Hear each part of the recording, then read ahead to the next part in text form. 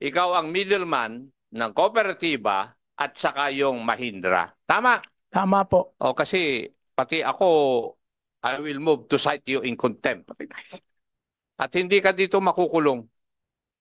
Oh, sinasabi ko na sa iyo. 'Di ba? 'Yun ang sabi mo. Opo. Tapos may gift package na 14 to 16 million. Tama? May meron kaming records o transcript ng sagot mo. Your Honor, sinabi ko po kasama po yung lahat po yun involved. Kaya ay pwede ko pong ipaliwanag dito kung saan din po napunta yung Hindi mga ko tinatanong kung saan napunta. Ang sina- tinatanong ko sa iyo, totoo ba na sinabi mo 'yun? Opo. Totoo na sinabi mo 'yun na may gift package na binigay ng Mahindra sa kooperatiba. Tama po. Pero Your alam Honor. ko rin na kumita ka rin doon. Totoo po yun, Your Honor. Yes. Kasi I have witnesses to prove that.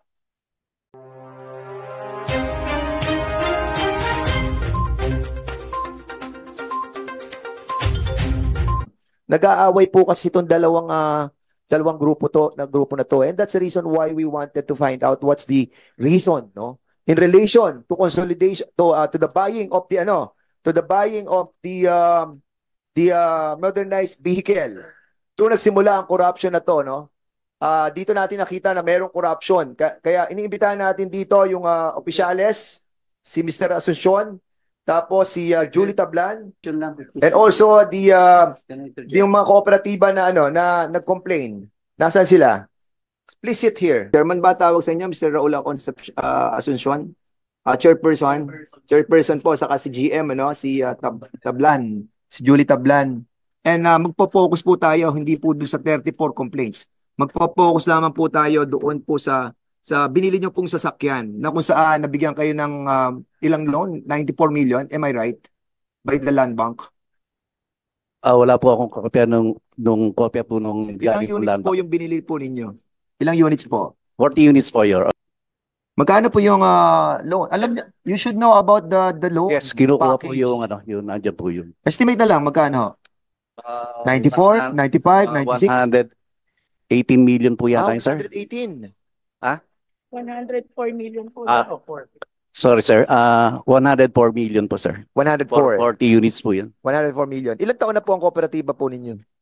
Ah, 8 years na po, Your Honor. 8 years na yung kooperatiba nyo. Kayo ang unang ah, chairperson ng kooperatiba. Opo, oh, Your Honor. Ah, so kayo na bumuo nito for almost 8 years, binuo nyo po ito. Okay, ang, ang, ang ah, nag-go wonder po kami dito kasi the last time that ah, we have discussing this, uh, uh, Mr. Alpha Martinez mentioned about the 15 to ah, 16 million that was ah, given ah, to the cooperative. Ah, basically, kung ah, pumunta na lang po tayo sa 15 million sa 40 units, uh, well, basically that will be 300 to 350,000. So sa 350,000 per unit na nabigay po sa inyo, can you kindly tell us, ano-ano ang pinuntahan ng 350,000 pesos per unit? Totoo ba yung natanggap ninyo na 350,000 per unit? Ah, Your Honor, wala po kami natatanggap na cash magmula po sa Mahindra po. Na, yung pong 350,000 per unit, eh, wala po kami na natatanggap doon. So ang ibig mo sabihin ay ah, ay ah, yung pera na sinasabi ni ah, Mr. Alpha Martinez ay ah, hindi nyo natanggap. Sino po ang nagbayad sa Yes, Your Honor. So sino po ang nagbayad sa BIR? Sino po ang nagbayad sa Registry of Deeds? Sino po nagbayad ng Sila po ang mahin ang Mahindra po ang nagbayad po noon. Kasi po yun po yung pinakiusap namin during time po ng pandemic po talaga no 2021. Eh bago lang po kaming ko, wala po kaming perang ilalabas. Kaya po ah, sinabi ko po sa Mahindra, baka matulungan niyo po yung kooperatiba na hindi na po kami gagastos ng kahit ano para po doon sa modernization po namin. So hindi ka pumirma sa mga dokumento na binayaran ninyo. Doon lang po sa Land Bank. Anong bayad yon? Yung po proof sa loan po namin. Sa BIR. Hindi po ako nagbayad po sa BIR po. Julie Tablan. I don't know. Nagbayad ba si Julie Tablan? Sa BIR po? Yes. Opo, nagbayad po Saan niyo siya. kinuha pera? Binigay po ni Sir Alpa yata po para po ibang bayad po. May resibo po lahat po yun. So, ang ibig mo sabihin, ang sinasabi nyo, nagbigay si Alpha Martinez ng pera sa inyo, pambayad ng BIR lang? Ah, pati po doon sa RD yata, nagbayad din po Okay. siya. Alpha Martinez, you have mentioned in the last hearing that amounting to uh, 14 to 16 billion was given to the cooperative. And uh, andito po sila Raul uh, Asuncion and trying to tell us na wala silang nahawakan na pera. Alpha, Mr. Alpha Martinez, ano ang katotohanan sinasabi niyang wala kang binigay na about 350,000 per unit or umaabot ng 14 million? Ah, kagaya po nung aking minimension last hearing po natin, yung pong um, 14 to 16 million, hindi naman po yan nila nahawakan buo na cash. Meron po kasi yan package. Kung maaalala nyo po, na ipaliwanag ko po, iba- MII, pwede po magpaliwanag, ito po yung during nung ating pandemic 2021 po. Na, Ah, sandali lang. yes, sir. That is beside the issue.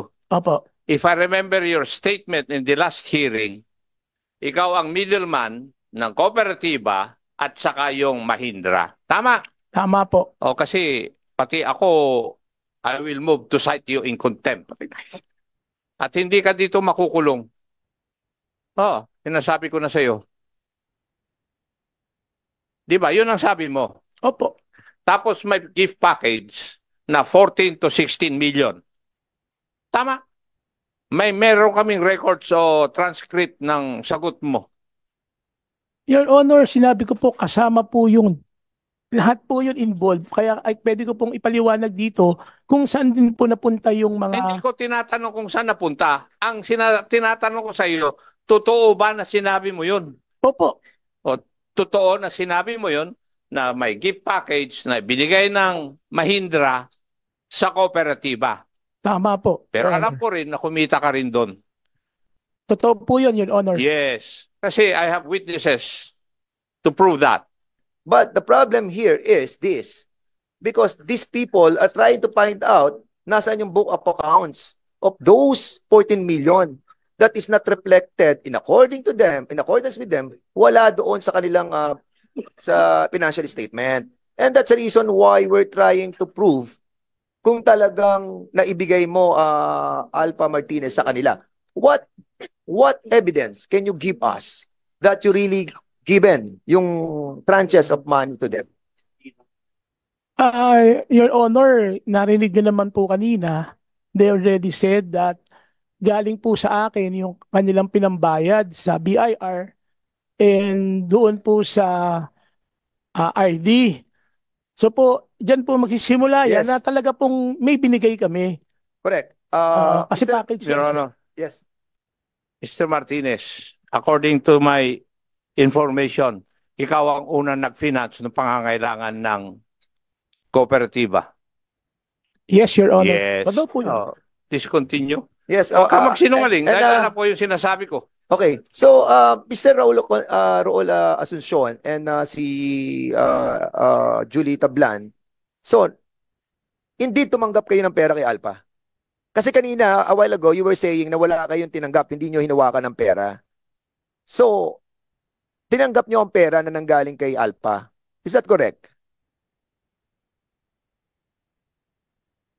Aside from the the the, the BIR na tinanggap nyo, ano pa ang tinanggap nyo sa kanila? Wala na po, sir. Ah, kasi nga po ako nagtataka. Lak eh. Wala naman po kami.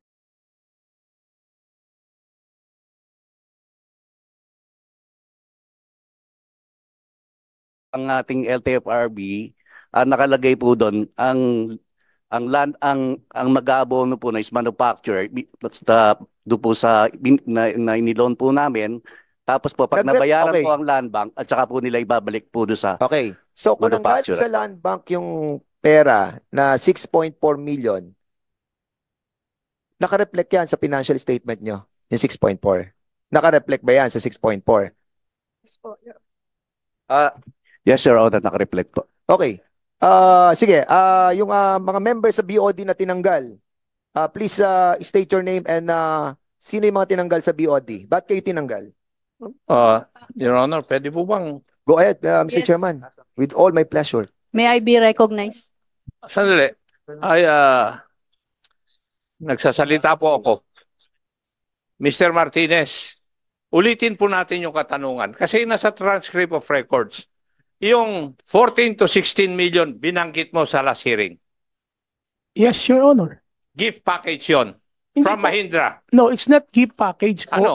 Ang sabi ko po, yun po ay package po doon sa na-loan po ng ah, kooperatiba. Nilinaw ko po po yan, ah, your chair, nung umalis po kayo at andyan po si, i- iba po ang ah, nag-chair. Pinulit ko pa po yan doon sa last hearing na yan po ay package na kasama yung insurance, kasama po yung chattel mortgage.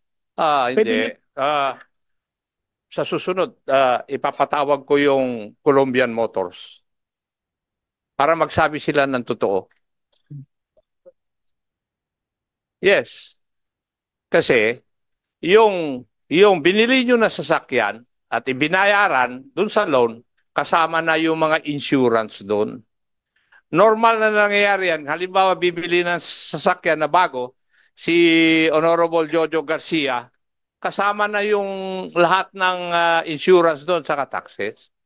Sandali. Yeah, wait, wait, uh. Oo. Chairman. Okay. Kaya sin- sinisiguro ko na yung gift package na yon eh para ma-entice yung kooperatiba para doon sila umorder. At Mhm. ikaw mismo, kumita ka ron doon sa 14 to 16 million na yon. Kasi ikaw nga uunang nag-finance eh. Opo. Yes. Hindi mo naman inamin nung una, ngayon mo lang inaamin. Mhm. Ang tanong ngayon ng mga ah, ah, BOD na allegedly tinatanggal ng kooperatiba, nasaan yung pera ngayon naka-reflect? Yun din ang tanong ni Honorable, naka-reflect ba doon sa financial statement? I have a copy of your financial statement here. Wala akong makita. Kung nasaan yung 14 to 16 million at nasaan din yung saan napunta yung kwan. Yun ang katanungan ni Honorable Fernandez eh, para maliwanag. I, I think, ano, Mr. Chairman, no, uh, you had to be truthful, Alpha Martinez. Kung meron silang, ah, meron kang mga ebidensya na magpapatunay na ginastos nila yung pera na binigay mo, which in relation to your ah, allegation ay binigay mo lahat. So, do you have a communication with those with these people with regards to the um, to the ah, expenses that they have incurred? Meron ka bang communication sa kanila? Or acknowledgement na binigay mo yung pera? Or ginastos sila sa ibang bagay yung pera? Ah, Your Honor, ang alam lang po namin, no? ah, binigay namin itong package na to sa kanila, including lahat po. Ah, binabayad yan sa mga insurance, doc stamp. Ah, yun nga po, yung sinasabi nilang mga BIR, no? Um, meron pa po kaming actually po, ah, pwede siguro sagutin ng mga ah, kabilang parte na meron din kaming binigay silang ah, Supro, sasakyan, Ano supro? para pong pedicab siya na yan po ay ma-avail nila, makukuha po nila sa amin after po ng 100 units. Kahit po balikan natin yung nakaraang hearing, ang binabanggit ko po sa inyo, kasi po, yan ay package ng 100 units po talaga. Okay, so anong sinasabi mo dito na para bang ah, in-advance mo na yung 100 units, yung kanilang 350,000? Kasi kung ah, pagbabasihan namin yung sinabi mong 14 million na binigay mo sa kanila, para bang nakikita namin package kasi kung titignan mo, yung sa 40 units, ako, binabalansi ko ha, kung 500, kung 40 units yan, dapat ang ang ginastos lang natin sa lahat ng mga requirements na tinatawag natin documentary stamp tax, mga BIR, yung mga chattel mortgage, insurance, lahat yan, aabot lamang yan ng almost sa 4,000 4 million 500. Kung, kung 4.5 million lamang yan, so kung accounted na yung 6.4 million, that is 10 point, almost um, uh, 10.9 million. That is 11 million. At kung pag-uusapan natin mga 15 million, we are uh, trying to find pa. out nasaan yung 4 million. Sana lang ginastos yung 4 million. And that's the reason why uh, we wanted to ask also. Kasi kayo yung mga nag-complain. Ano yung kino-complain ninyo na sinasabi nyo nawawala? Tell us. Kasi nga, nagugulan kami. Kung merong financial statement dito in accordance to, to our chairman, na lumalabas yung 6.4, nasa financial statement naman pala. Sige. Ah, Kung may ah, gastos, yung 4 million, nakaka-account siya sa financial statement, then we are not looking for any any lost money. But if the 4 million is not reflected in the financial statement, then you have a problem. Sige. Ah, Sandali, sandali. oh, sige, Mr. Chair. Bago po kayo sumagot, uh, let me inform the body that they have a verified complaint submitted to this uh, committee, which we will refer to the uh, Cooperative Development Authority after this hearing. Para alam nila. Mayroon na si po silang official complaint. Please, uh, pakisagot yung katanungan ni Honorable Fernandez. May I be acknowledged po, Mr. Chair? Yeah, my name is Rowena Ramos and I am one of the nine complainants po. Um, uh, contrary to what they're saying, na wala silang, Please, uh, uh, tell us your position in the cooperative. I am just a member of the cooperative, in the cooperative, but I am a member of the technical working group of the organization. Um, before that, uh, I would like also to ask, if I may be allowed to ask, sa CDA po, Sagutin niyo muna Oh, yung sige. tanong ni Juan. okay Kami po, lang sir? po ang pwedeng magtanong eh. Okay, sir. Ah, So, there is 3.86 million that has been paid by Mahidra that is not that has not been entered in the books of uh, the audited financial statement. Okay. And then, as we have gathered information, we do not have the in, uh, data, but according to uh, BIR, and uh, ROD, approximately about 700,000 also will be expended on those two accounts. So bringing it more or less to 4.6 plus 7. So it's about uh, 5 point uh, something that has Okay. been paid. But Okay. beyond that, Okay, okay, okay, okay, okay, Yes, okay. Okay. So 3.8 ang sinasabi mo na binigay ng Mahindra. yes, sir. And ano- another uh, 700,000 ba yan? Approximate, sir. That's what So more we or gathered. less, that is 4.6. And in my account, nagtatama siya. 10.9, uh, uh, 4.5 million yung uh, requirements ng sasakyan sa mga mga insurance lahat and 6.4 doon para sa uh, uh, government subsidy which is 10.9 ang totality. So ngayon, yan yung sinasabi mo, yung 3.8 na yan na nanggaling sa Mahindra. So ngayon, uh, Chairperson, Raul Asuncion. So kung meron nang galing sa Mahindra na 3.8 plus 700, that is 4.6. Nasa financial statement nyo ba yan?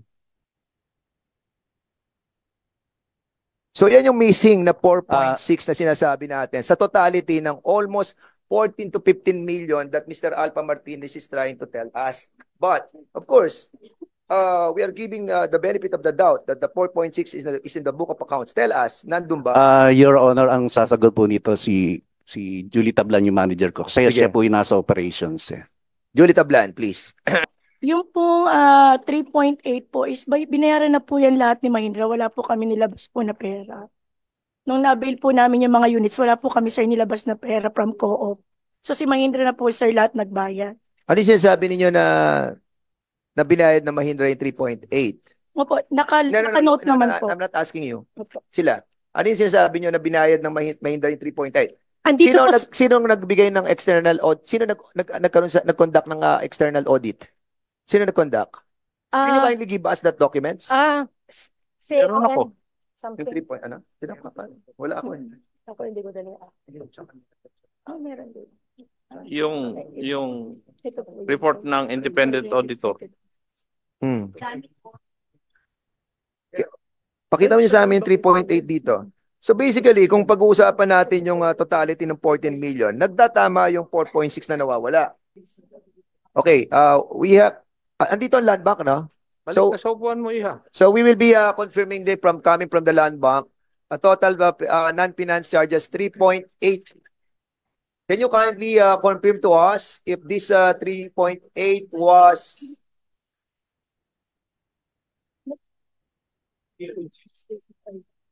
3.8 ba o 3.6 to? 3.6 sir.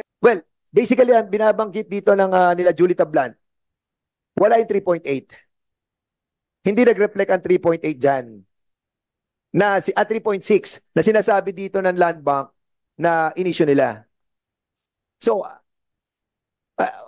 Well, it's a matter that uh, uh, we need to find out, ano, kasi yun yung missing link, ano, yung 4.6 million, no. Uh, um, I think uh, sila BOD, member pala. So, kung wala sa kanila, at sinasabi nyo na rito, so, who's telling the truth? Eh, mag, uh, Your Honor, magtuturuan yan. So Correct. we can decide who Sige, would be okay. telling the truth. Okay, so, I, I- think, uh, Mr. Chairman, I, I think we need to uh, to uh, to study this further, no. Uh, uh, I, I cannot really comprehend kung uh, coming from those people, tong 3.6 and the financial statement that they have submitted to to you, but I haven't got a copy yet. So I I think I need to balance the uh, the documents first, no. Uh, para mapag-aralan natin kung uh, yung veracity ng kanilang uh, allegation. And uh, you have to substantiate your claim. Mr. Alpha Martinez and the members of the ano, you have to substantiate the claim that you have given the 14 million to them. Kung ang pagbabasihan nyo lamang ay uh, uh, yung uh, sinasabi na sinasabi nila na wala silang nahawakan ng pera, then Mr. Alpha Martinez, you are in uh, trouble. Di ba? Unless you have proven to us that you have evidences to support your claim. Yes, Your Honor. Uh, So can you submit to us? Meron ka bang ah, mga claim na ebidensya para sabihin sa, sa amin na talagang nagbigay ka sa kanila?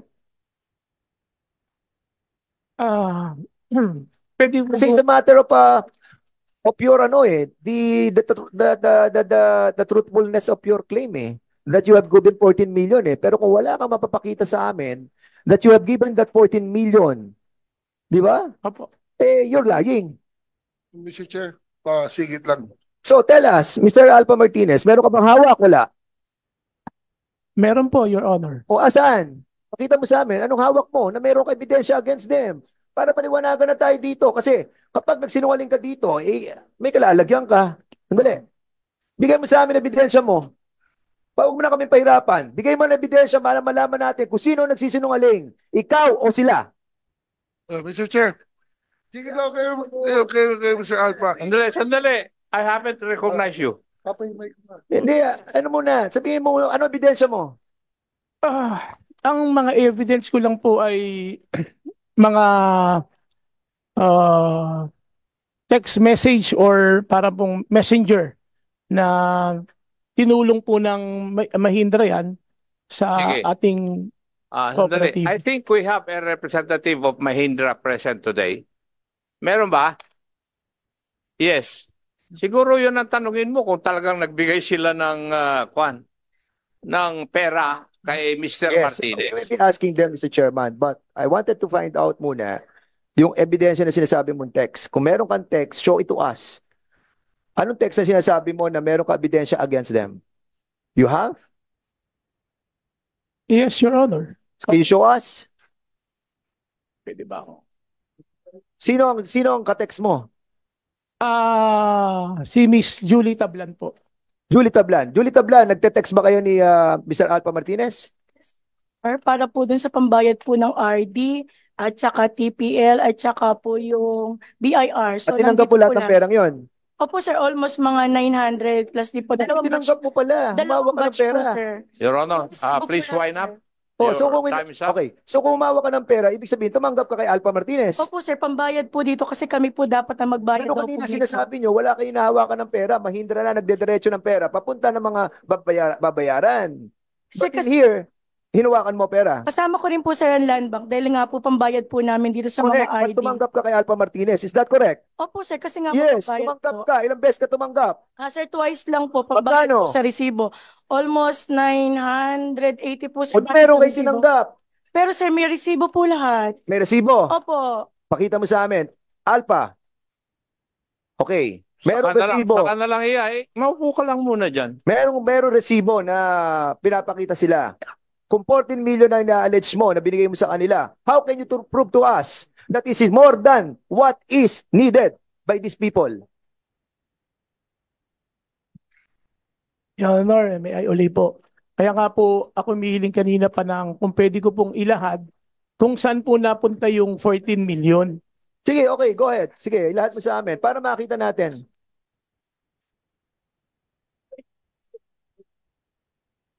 Ah, Mahindra, habang nagko-compute, Hindi, meron ako. would you admit na nagbigay kayo ng 14 million sa kay Mr. Martinez? Totoo ba na nagbigay ng Mahindra ng 14 million sa kanya? Uh, good Yes or no? No, no, sir. No. Uh, Sige. So, in other words, you're telling us that you cannot answer questions here. yes po. Okay, thank you. Uh, Mr. Alpha Martinez, Please wind up, Your yes, Honor. you you were telling us that um they gave you money. So, Mahindra, hindi sila nagsasalita. This is not the right person to uh, speak up. They issued something to you. Para masabi mo na nagbigay ka sa kanila. Kung ikaw ang agent nila, have they given you something for you to give them? Yes, Your Honor, meron Ano po. binigay nila? Cheque Ah. ba yan? Cash ba yan? What? Yung po, binigyan din po nila ako ng summary nung ah, naging transaction ng Cheque, cash. yung iba po cheque. Yes. Okay. So, cheque silang binigay sa log. We need to find out from Mahindra. The right person, we will be invite. Mr. Chairman, can we invite the uh, the uh, right uh, personality in the next hearing? We will, Your Honor. And for your information, Yes, sir. Si Mr. Alpha Martinez, as I've said a while ago, siya ang unang nag-finance doon sa mga pangangailangan ng kooperatiba. Yes. Yes, Your Honor. Kaya nga in tranches yung bigay ng Mahindra eh. Hindi one time. Tama? Yes, Your Honor. Oo. Kaya alam ko yun. So uh, I, I think uh, with that, Mr. Chairman, we have to Mr. Chair. Because it's already 12:15 and I'm uh, consuming a lot of time already and I'm I'm really sorry Yes, about yes. this but but we are not we we are not satisfied satisfied with, it- with with what is happening right now Your Honor. and we need to ferret out the truth about this and yes. and uh, Mr. Chairman I will be um uh. Ah, ah, the the committee will schedule a hearing para tingin lahat ng reklamo lang ng mga kooperatiba. yes Mr.